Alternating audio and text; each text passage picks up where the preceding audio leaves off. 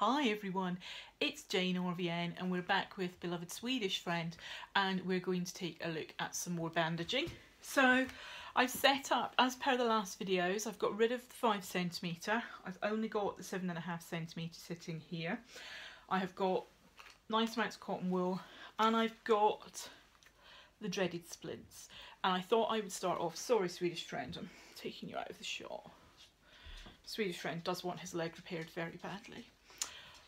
I thought I would talk a little bit about splints because you've got six minute tasks at the moment for the diploma and um, standard OSCEs. Um, if you're doing pre-registration OSCEs, you get more to do, but you get 10 minutes. So still, there's a lot to do in the bandaging task and the splint can take a while because you're bandaging the whole leg. You'll probably be offered two splints they will be different sizes. So although by looking visually you will probably be able to tell um, cat size is probably not going to fit him, it's still beneficial to actually just measure up, hold up. No, that is going to be too narrow. This, yes, that would be suitable. The length is acceptable because although obviously they're not out to trick you, it is possible that you could get two splints the same width but different lengths so you want to check that. One of the things we get confused at with splints is one, we probably don't use this type that often in practice, so which way round do they go?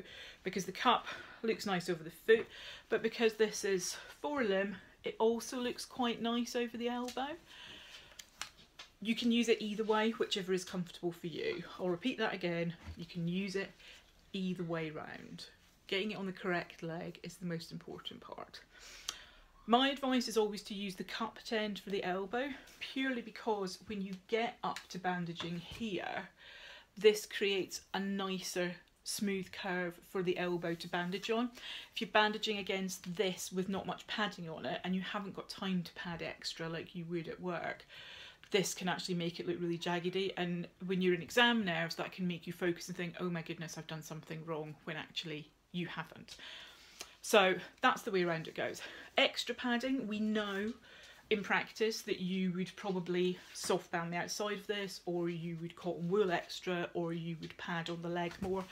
In a six minute exam or even in the 10 minute pre-reg OSCEs, you have got time literally to put this on and get you three layers on and any dressing that you need. You haven't got much time to spare unless you are like a bandaging ninja, but I haven't met many of those. So if you are concerned in the exam and it's your habit to pad, I would recommend get some cotton wool and literally pad up top and bottom like that. It's going to make you feel more comfortable. For this end, it's going to feel much nicer um, for bandaging round because it won't be all sharp.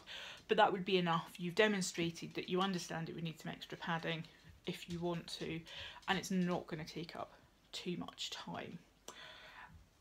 Splint wise again, the order in which it goes can be a bit confusing. So if you need to put a dressing on, that would obviously go first. You would then pad, splint, secure splint with conforming, no tape needed, confuse, secure splint, can't say that, with conforming. And then obviously your outer protective layer. So that is padding, splint, conforming, protective. If you can remember it in that order, that would be lovely.